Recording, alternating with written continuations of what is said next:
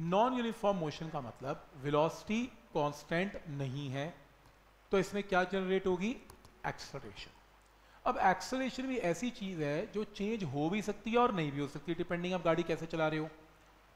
अब change in velocity अगर ज़्यादा है या कम है, उस पर एक्सलेशन डिपेंड करती है। पर हम इस पूरे चैप्टर में एज्यूम करके चलते हैं कि एक्सलेशन क्या है जर्नी की कांस्टेंट है। सपोज़ करते हैं, वैसे रियलिटी में होती या नहीं होती, आपकी गाड़ी चलाने पर डिपेंड करती है होती नहीं। जब रेस दबाते हैं एक्सलेशन भी चेंज होती हैं। पर हम इतना कॉम्प्लेक्स नहीं करेंगे, हम एक्सलेशन को क्या मानेंगे? कॉन्स्टेंट ठीक? तो सपोज़ करो, एक कार है, आपने फ़ोटो खींची, इसकी जब फ़ोटो खींची तो वेलोसिटी क्या आई? यू चल रही थी, ये ओरिजिन रेस से स्टार्ट नहीं हुई। यू पे यू यू थी इसकी वेलोसिटी थोड़ी देर के बाद आपने देखा इसकी वेलोसिटी कितनी हो गई? वी तो आपने देखा टाइम शुरू में कितना है? ज़ीरो और टाइम थोड़ी देर में कितना हो गया? टी ठीक है? क्या आप इसका एक्स टी ग्राफ प्लॉट कर सकते हो? डिस्प्लेसमेंट टाइम ग्राफ क्यों? अब इमेजिन करें, मैं आपसे ये पूछ रहा हूँ, मैं अपने घर से चला तो मेरी वेलोसिटी थी 10 मीटर पर सेकेंड जब मैं यहाँ पर पहुँचा तो मेरी वेलोसिटी थी 50 मीटर पर सेकेंड तो क्या आप मेरे डिस्प्लेसमेंट के ऊपर कमेंट कर सकते हैं? मैं कहाँ से, किस गली से घूम के आया हूँ, किस सड़क से घूम के आया हूँ, क्या मेरा कोऑर्डिनेट है? आपको तो कुछ नहीं पता। आपको तो बस ये पता है कि यू क्या है वी क्या है। बीच में क्या हुआ? कोई आइडिया नहीं आपको। हाँ इतना पता है कि वेलोसिटी क्या हो रही है? इंक्रीज करके आया हूँ, ये बात पक्की है। ठीक? तो हम इसलिए इसका एक्सटी ग्राफ नहीं प्लॉट करेंगे। क्या प्लॉट करेंगे इसका? वीटी करेंगे। हालाँकि मैं आपको सिखाऊँगा एक्सटी ग्राफ भी हल्का हल्का एक आइडिया हम बना सकते हैं। लेकिन अभी नहीं, थोड़े टाइम के बाद पहले हम इसका क्या ड्रॉ करेंगे? वी ग्राफ एक्स नहीं कर पा रहे, क्योंकि एक्स ग्राफ में पता ही नहीं एक्स कोऑर्डिनेट क्या है। इसने ग्राफ में u और v के बारे में गिवन है तो वेलोसिटी टाइम ग्राफ प्लॉट हो रहा है एक्सटी नहीं हो रहा। ठीक है यहाँ तक? तो वेलोसिटी टाइम ग्राफ में कोऑर्डिनेट्स प्लॉट करने आते हैं। टाइम का कोऑर्डिनेट क्या है? ज़ीरो वेलोसिटी का कोऑर्डिनेट क्या है? U. तो प्लॉट करें। वी ग्राफ में टाइम कोऑर्डिनेट ज़ीरो और ए पे वेलोसिटी क्या है? यू क्योंकि ये वेलोसिटी एक्सिस है ना तो यहाँ पर वेलोसिटी क्या है? U. A पॉइंट आ गया। B पे टाइम क्या है? T. और वेलोसिटी क्या है? V.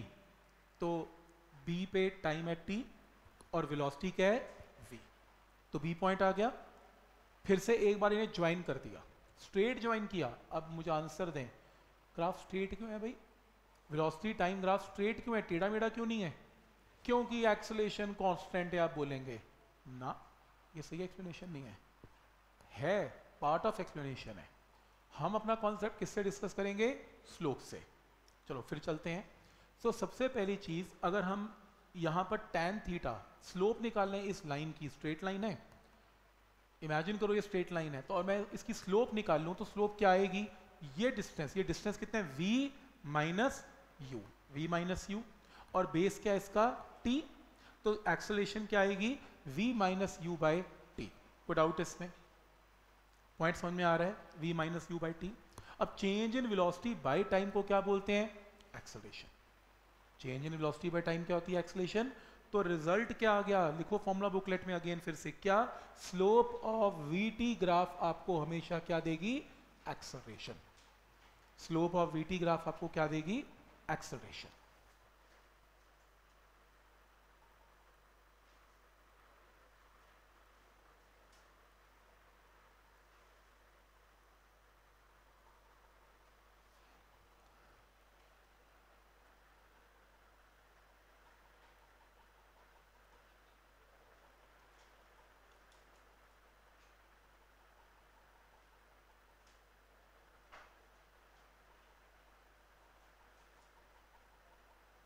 ठीक है यहाँ तक।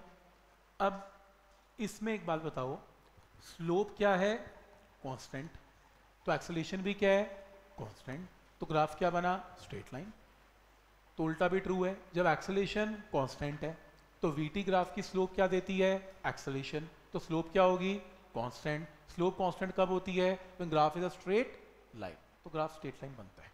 तभी आप आधा याद करके आते हो। आप बोलते हो, क्योंकि एक्सलेशन कांस्टेंट है। आपको आधा नहीं पता एक्सलेशन यहाँ पर क्या है?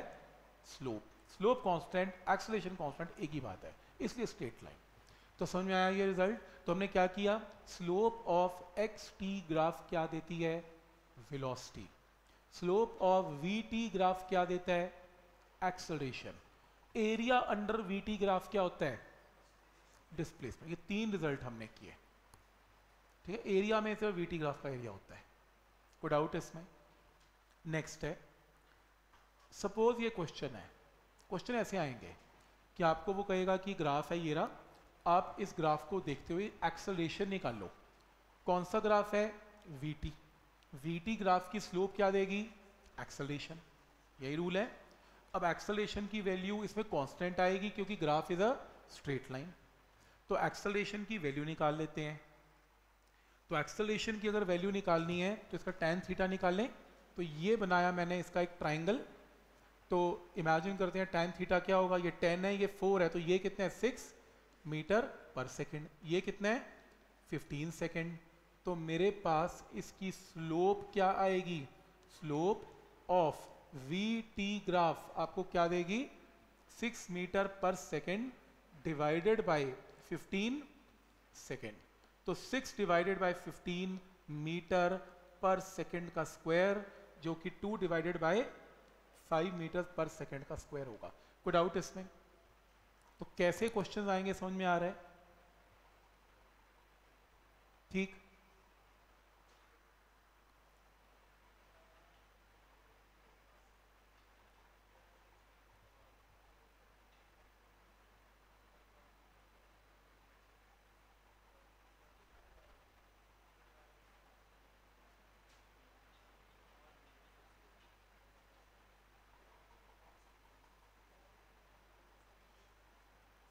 ठीक है यहाँ तक?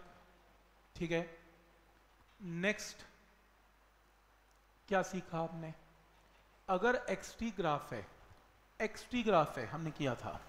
एक्स टी ग्राफ की अगर स्लोप कांस्टेंट है तो एक्स टी ग्राफ की स्लोप क्या देती है? वेलोसिटी तो वेलोसिटी कांस्टेंट है। अब कोई कहेगा ग्राफ यहाँ से क्यों शुरू हो रहा है? आपने पहले तो यहाँ से शुरू किया था। तो क्या आंसर होगा इसका? मतलब कि जो मैंने शुरू में करवाया था, मैंने ये करवाया था कुछ ऐसे। तो इसका ग्राफ तो यहाँ से स्टार्ट हुआ था। तो अगर ये ओरिजिन से स्टार्ट होता है तो x1 क्या रहेगा? ज़ीरो x1 ज़ीरो का मतलब ये ए बॉडी कहाँ से स्टार्ट हुई? फ्रॉम ओरिजिन तो अगर बॉडी ओरिजिन से स्टार्ट होती है तो ग्राफ हमेशा ज़ीरो कॉमा ज़ीरो से ही स्टार्ट होता है। और अगर आपकी बॉडी कहीं ओरिजिन से आगे से स्टार्ट होती है तो इसका मतलब ग्राफ ओरिजिन से स्टार्ट नहीं होगा, ऊपर से स्टार्ट होगा। वो वो आप सोचेंगे कि हमें कैसे पता लगेगा? क्वेश्चन में आपको ग्राफ बनाने को नहीं आता। क्वेश्चन में आपको ग्राफ दिए जाते हैं। ग्राफ बना के देगा। ग्राफ बना के वो आपसे कुछ क्वेश्चन पूछेगा कि ग्राफ को देखते ही आंसर बताओ। तो आप ये टेंशन मत लें कि ग्राफ मुझे बनाना है।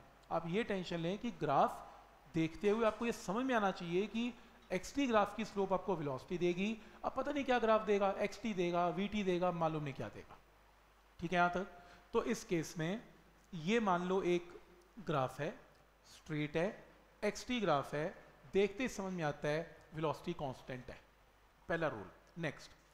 X T graph है, पर टेढ़ा मेढ़ा है, स्लोप बढ़ रही है, कम हो रही है, बढ़ रही है, कम हो रही है, बढ़ रही है, कम हो रही है। अब देखते ही समझ में आता है कि एक्स टी ग्राफ की स्लोप क्या है? चेंजिंग।